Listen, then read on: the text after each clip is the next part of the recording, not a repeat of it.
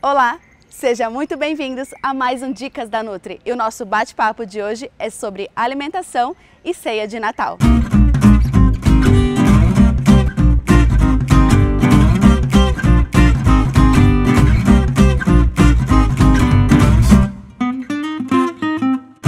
Com a chegada das festas de fim de ano, é comum acabarmos exagerando um pouco na alimentação, não é mesmo? E com isso eu trouxe algumas dicas para vocês poderem aproveitar esse tão esperado banquete ao lado da família.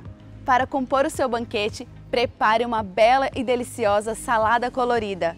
Faça combinações de diversas folhas com frutas secas, com castanhas.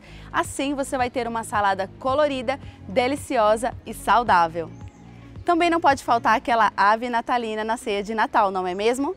E a minha dica é, evite comprar ela já temperada. Faça o seu próprio tempero em casa. Falou em ceia de Natal, não pode faltar a sobremesa. Aproveite para resgatar aquela deliciosa receita da vovó de uma gelatina colorida, um pudim e até mesmo uma mousse. Além das deliciosas e irresistíveis sobremesas, ainda tem as bebidas alcoólicas e também os refrigerantes. Evite exageros e, se beber, não esqueça de se hidratar. Aproveite para decorar a sua linda ceia natalina com uma água saborizada. Faça combinações com frutas, hortelã, canela e também gengibre.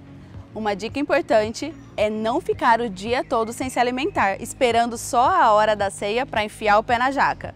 Fazer pequenas refeições ao longo do dia ajuda você não chegar com tanta fome na hora da sua ceia. Além disso, não se esqueça de cuidar do seu corpo e fazer boas escolhas ao longo do ano, para que possamos chegar na ceia de Natal e curtir esse momento tão lindo e tão esperado ao lado daqueles que amamos e construir memórias afetivas.